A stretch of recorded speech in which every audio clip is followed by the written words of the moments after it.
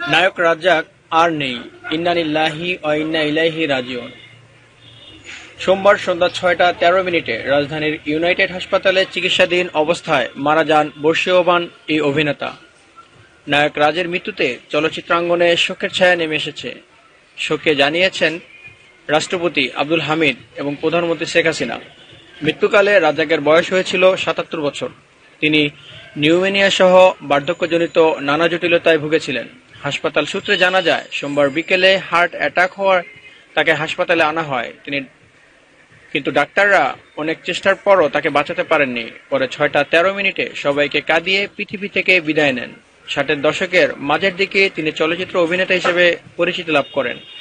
ষাটের দশকের বাকি বছরগুলোতে এবং সত্তরের দশকেও তাকে বাংলাদেশের চলচ্চিত্র শিল্পের প্রধান অভিনেতা হিসেবে বিবেচনা করা হতো।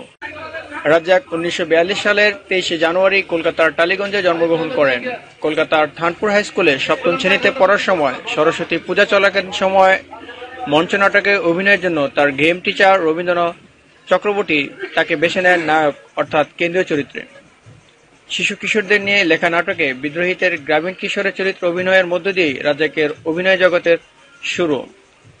তিনি উনিশশো চৌষট্টি সালে শরণার্থী হয়ে ঢাকায় আসেন। তিনি প্রায় তিনশোটি বাংলা ও উর্দু চরিত্রে অভিনয় করেছেন, পরিচালনা করেছেন প্রায় ষোলোটি চরিত্র। ধন্যবাদ। আমাদের খবরগুলো ভালো লেগে থাকলে লাইক, কমেন্টস এবং শেয়ার করবেন, আর অবশ্যই সাবস্ক্রাইব করতে ভুলবেন না, প্লিজ।